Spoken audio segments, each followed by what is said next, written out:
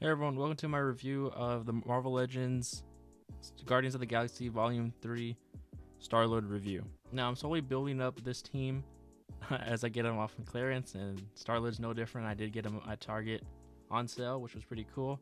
He does not come with the Build-A-Figure, so keep that in mind. Uh, I was planning on getting him last, just so I can have all the Build-A-Figure pieces first, but I found him on sale and I'm obviously going to take that, take that deal. Now the box is just like any other Marvel Legends box, nothing too special. Render artwork of the figure, but let's just get straight to the figure itself. So this is obviously the best version that we've gotten of Chris Pratt in toy form and figure form from the Marvel Legends line. I do think this is a really good head sculpt. It does capture the actor pretty well. And it looks just it just looks nice. For the costume, nothing too special. It's just the same design that we've seen with uh, the other figures from this line.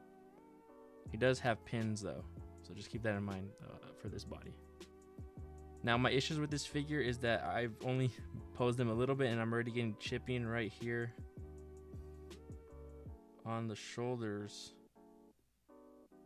as well as his legs are really really loose and this at least this one right here just feels really gummy. So that's not great. This is probably my least favorite figure from this line or from this wave. But for articulation i already have the paint messed up. Normally you can you just go about that much. You can kind of force it but careful see like the paint's already chipped. He has double jointed pins.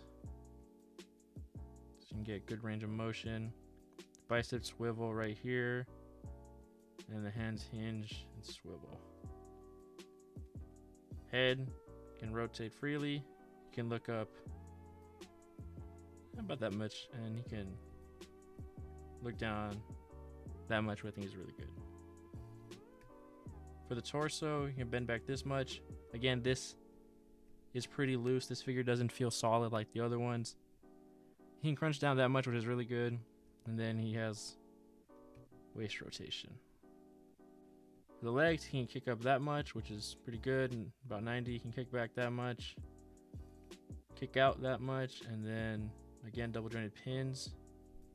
Not great for the kicking or for the bending of the knees.